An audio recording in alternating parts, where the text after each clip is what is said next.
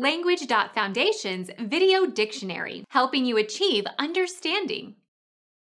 Dutch post-impressionist painter noted for his use of color, 1853 to 1890.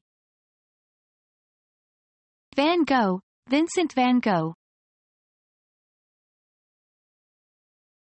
Become our student and get access to effective and free educational materials. Subscribe to our channel to become a part of our growing community and to learn English effectively.